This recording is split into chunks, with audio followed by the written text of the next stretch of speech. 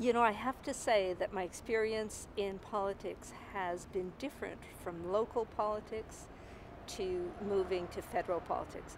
Local politics, you're sitting around the table and you obviously there's different values represented and, and the whole political spectrum is there but you're around, sitting around the table to solve problems in the interest of in, in the interest of the people living in your riding or your city uh, when I arrived in Ottawa, now that's a different story.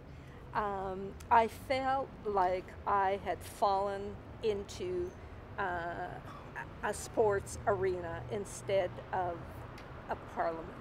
And, uh, you know, even the seating arrangement lends itself to this confrontational uh, approach and, and uh, that, that people have uh, talked about question period.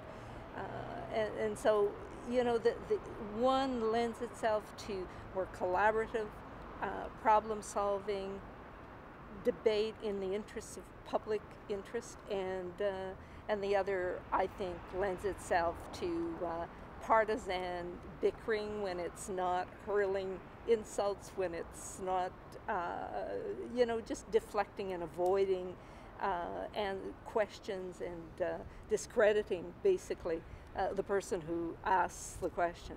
So, you know, and I'm, I'm painting a black and white picture. You know, there's obviously opportunities for uh, real debate, uh, but I think that overwhelmingly the atmosphere is so charged with partisan uh, partisanship.